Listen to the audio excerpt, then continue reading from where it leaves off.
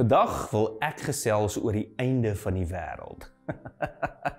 nou julle het dit nie sien kom nie of hoe want uh hoekom sal so iets dan nou belangrik wees om oor te gesels? Ek sal jou sê hoekom. Omdat 'n reuse deel van ons verstaan en reaksie of respons na die wêreld toe presies hierin gevind kan word. Nou ja, vir baie me mense is die punt van die Bybel dat die wêreld gaan eindig op een of ander punt in die toekoms En dit is baie belangrik dat jy dan in die regte span is of minstens aan die regte kant is wanneer hierdie einde aanbreek. Maar daar is twee of drie tipe eindes van die wêreld en as jy so bietjie geduld met my sal hê, gaan ek jou vandag help om van 'n klomp geloofsgewigte wat jou lam maak op jou geestelike reis, maar jy voel net te skuldig om daarvan afstand te doen, ontslae te raak. So in die eerste tipe einde van die wêreld eindig die wêreld baie vinnig en skielik want iets katastrofies en onverwags het gebeur. Daar is hierdie natuurlike weergawe van hierdie vrees waar 'n meteoor die aarde tref of 'n virus nog baie meer dodelik as COVID of 'n aardbewing wat maak dat die oseane al die kontinente verswelg totdat die mens gewoon net nie meer is nie. Daar's ook goddelike weergawe van hierdie eerste einde van die wêreld waar God so moeg raak vir mense wat konstant 'n gemors maak van alles dat God uiteindelik sê genoeg is genoeg. En dan daag hy op om al die verkeerde dinge reg te stel en oordeel te bring en huis skoon te maak. Nou hierdie verstaan van die einde van die wêreld sluit perfek aan by 'n baie spesifieke menslike vrees dat daar uit nêrens uit môre iets kan gebeur wat die lewe sal beëindig soos ons dit ken. En die skok en onverwagte vrees van hierdie moontlikheid het natuurlik al eindelose strokies, prente, boeke en natuurlik Hollywood movies die lig laat sien waar Bruce Willis of Will Smith of die Avengers op die laaste minuut opdaag om die dag en wêreld te red. Nou in die godsdienstige weergawe van hierdie sal jy al te gereeld hoor dat wanneer hierdie gebeur, gaan een groepie mense na 'n goeie plek toe en die res van die mensdom gaan na 'n slegte plekkie toe. Natuurlik die mense wat hierdie storie so vertel, is almal op pad na die goeie plekkie toe. Hoe toevallig. En daarom is jou werk om soveel as moontlik mense binne in in die tent of die klub of die godsdiens of die groep te kry as wat jy kan sodat wanneer die dag kom, julle almal kan vlug na die goeie plekkie toe. Hierdie tipe einde van die wêreld weergawe word oor die algemeen gesien as iets wat buite ons beheer is.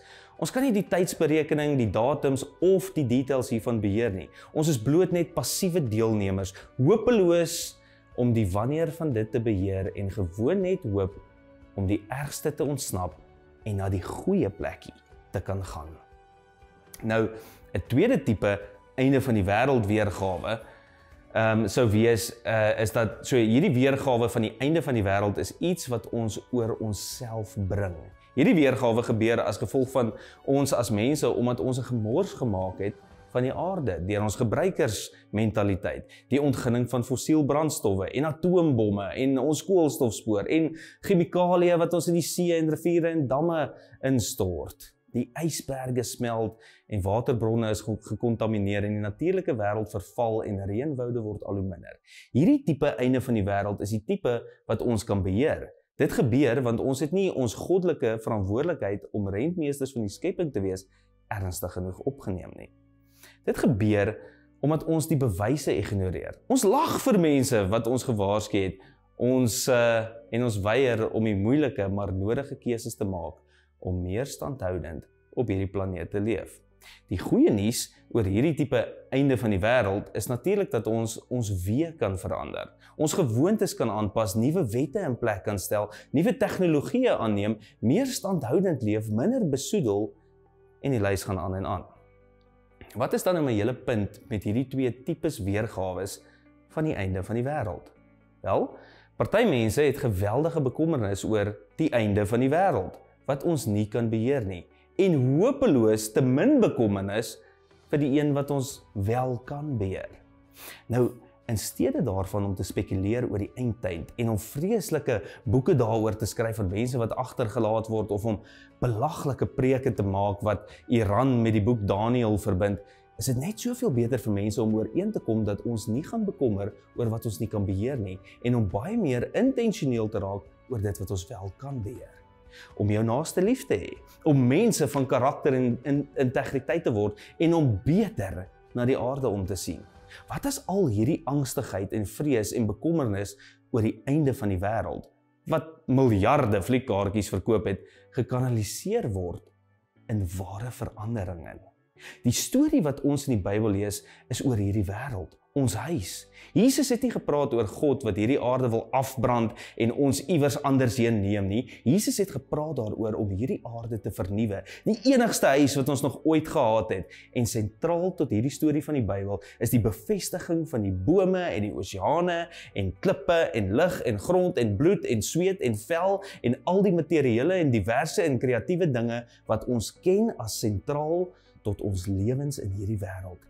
Jesus het gepraat van 'n tyd waar God sal kom om alles te herstel en nuut te maak en versoen en verlos en dinge reg te maak. En hy nooi ons om daardie dag te antisipeer deur ons deel te doen om hemel en aarde te bring van vandag hier nou wat ons natuurlik bring by 'n derde tipe einde van die wêreld. Die woord einde van die wêreld of apocalypse beteken letterlik ontbloot of onthulling of openbaarmaking. 'n Ware einde van die wêreld gaan oor dinge wat geopenbaar word vir wat dit regtig is. Soos in 2 Petrus in die Nuwe Testament waar Petrus skryf, die aarde en alles wat in dit uh, gedoen word, sal blootgelê word. Die frase blootgelê in Grieks is die woord eurisko wat beteken om te vind of te leer of om te ontdek. So terloops, dis waar die woord eureka vandaan kom. So toe die skrywers van die Bybel geskryf het oor hierdie bloot lê, was dit met die verwagting dat alles reggestel sal word, in plek gesit sal word, herstel sal word. Dit was 'n hoopvolle, lewendige, vreugdevolle verwagting dat daar steeds 'n beter toekoms is vir hierdie wêreld. So elke keer wat jy optree in verwagting van dit, neem jy deel aan die toekoms nou in hede. Wanneer Petrus skryf, julle moet heilige en goddelike lewens leef soos julle vorentoe kyk na die dag van God en die spoed waarmee dit kom. Dit is eintlik 'n einde van die wêreld versie. Wat? Die spoed waarmee dit kom? Met ander woorde, ons kan die toekoms affekteer en beïnvloed. Ons kan deelneem aan die koms van hierdie nuwe wêreld. Ons, ja, ek en jy nou op hierdie oomblik 'n ware einde van die wêreld is nie iets wat gevrees behoort te word nie, maar eerder iets wat gevier moet word en ons moet in dit ingaan nou. Ons moet nou saambou op pad na hierdie nuwe wêreld toe. Elke besluit wat ek neem, moet ek evalueer moet geëvalueer word. Beroof dit wat ek nou doen die goeie?